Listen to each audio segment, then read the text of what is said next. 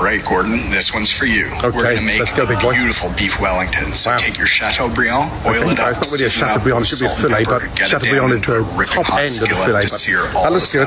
Then Nice colour. mustard on it. Get Mustard that was nice the and fridge warm. while you make your duxelle. Get Good. your mushrooms into the food processor. Okay, you've been watching my videos very butter. carefully. Get your mushrooms in there and simmer it to Good. Get the water out of the mushrooms. Add thyme, That'll salt, and pepper nice to and crisp. taste, and deglaze it with some lagavulin for that smoky Okay, so flavor. far so Once good. the moisture's evaporated, get your duxelle down onto a layer of Absolutely. prosciutto, and then roll that up into Roll a it nice and tight so it doesn't shake pastry, like a put your football. beef in the center, a little egg Good. wash just to seal this And sometimes up, season that a little bit inside there if you wish. Into a tight cylinder. Now roll it two rounds. Lattice. Lattice, Get okay, that spread smart. out. I think we could be on for winning here. welly. Fingers crossed. Get the lattice over the top, and Yeah. a little more egg wash. Okay, Get that just into an make oven preheated nice. Touch of salt on there to get that pastry nice and pull it when crisp. Look at that. internal of Hold on a minute. 128 to 130 for a perfect medium rare. Full recipe on our YouTube channel.